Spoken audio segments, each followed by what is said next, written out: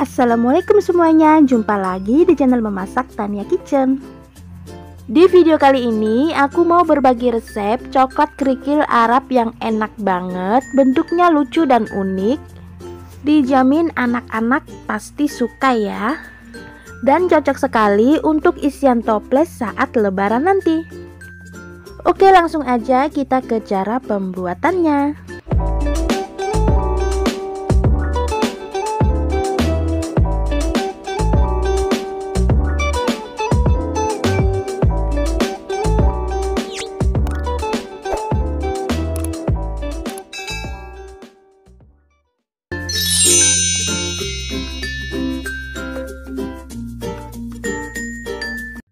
Pertama, siapkan tepung tapioka 125 gram. Kemudian sangrai sampai si tepung tapiokanya ini ringan ya, teman-teman. Nah, kalau sudah dirasa ringan kayak begini, ini tandanya sudah matang ya. Boleh diangkat dari kompornya. Kemudian lanjut di sini sudah aku siapkan Oreo, tapi aku di sini menggunakan uh, Gorio Rio ya supaya lebih ekonomis. Untuk satu bungkusnya ini cuma 500 rupiah dan isinya dua keping kayak gini ya. Lalu aku mau pisahkan krim yang di tengahnya ini ya. Untuk krimnya ini nanti aku mau tambahkan ke coklatnya nanti ya. Di sini aku menggunakan 3 bungkus Goriorio.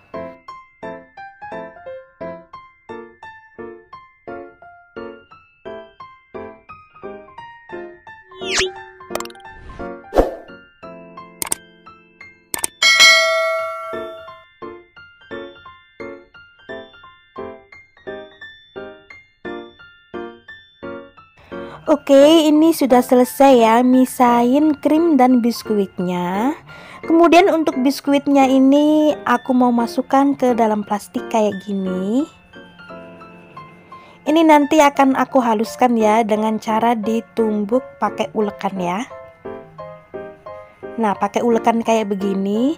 Tapi kalau teman-teman ingin lebih praktis lagi bisa menggunakan blender ya.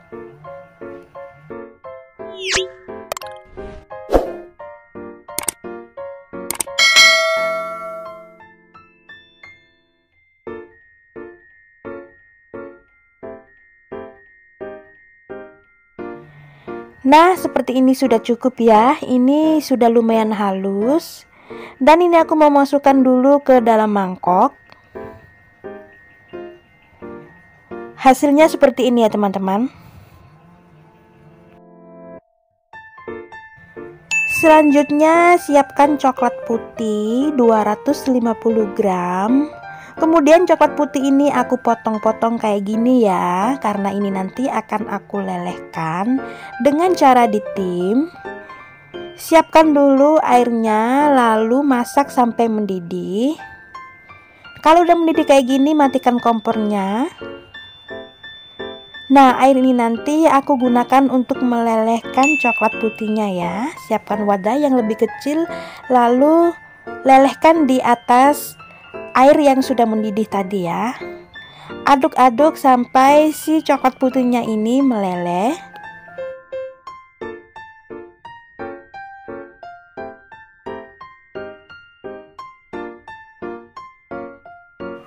Oke teman-teman, ini coklat putihnya sudah meleleh Lalu aku mau pindahin ke dalam wadah ya. Ini aku menggunakan mangkok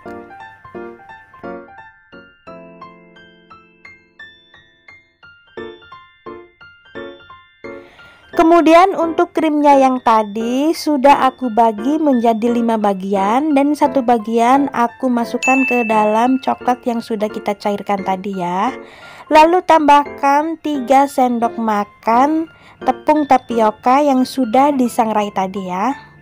Lalu aduk sampai semua bahan tercampur merata.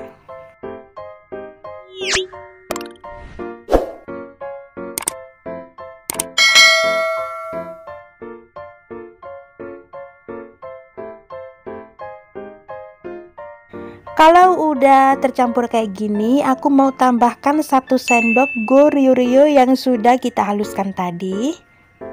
Lalu aduk lagi sampai tercampur merata.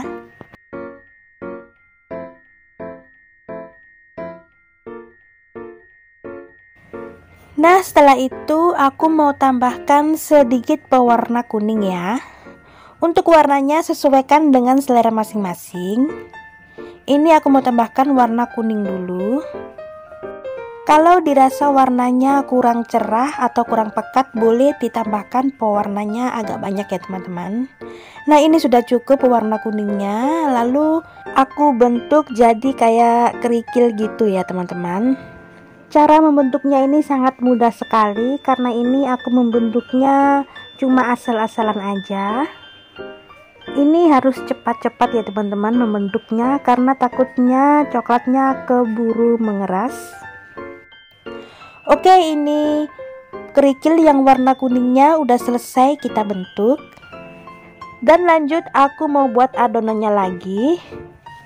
Lelehkan 50 gram coklat putih dengan cara ditim yang seperti tadi ya teman-teman kalau udah ini aku mau pindahkan ke dalam mangkok lalu tambahkan 3 sendok makan tepung tapioka Aduk sampai tercampur merata. Setelah itu tambahkan 1 sendok makan gorio-rio yang sudah dihaluskan tadi. Dan jangan lupa tambahkan satu bagian krim dari gorio-rio yang tadi ya. Setelah itu aku tambahkan pewarna merah secukupnya.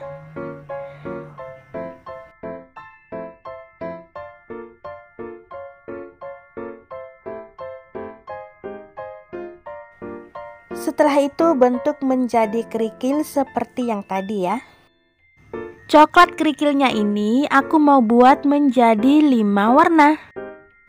Lakukan hal yang sama sampai bahannya ini habis ya teman-teman. Ini aku menggunakan warnanya kuning, merah, hijau, ungu, dan hitam ya.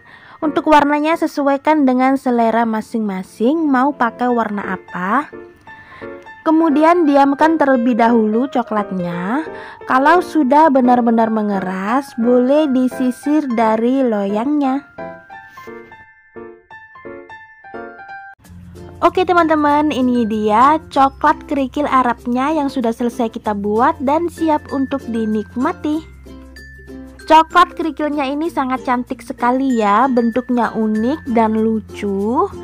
Mirip sekali dengan kerikil tapi ini yang versi warna-warni. Dijamin anak-anak pasti suka dengan coklat kerikil seperti ini ya.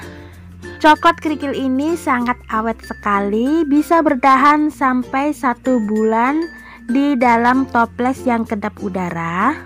Sangat cocok sekali untuk isian toples saat lebaran nanti. Oke teman-teman, sampai di sini dulu ya videonya kali ini. Terima kasih sudah menonton videonya sampai selesai. Terima kasih juga buat yang sudah subscribe. Semoga videonya bermanfaat. Jangan lupa dicobain di rumah ya teman-teman. Sampai jumpa lagi di video yang selanjutnya. Wassalamualaikum.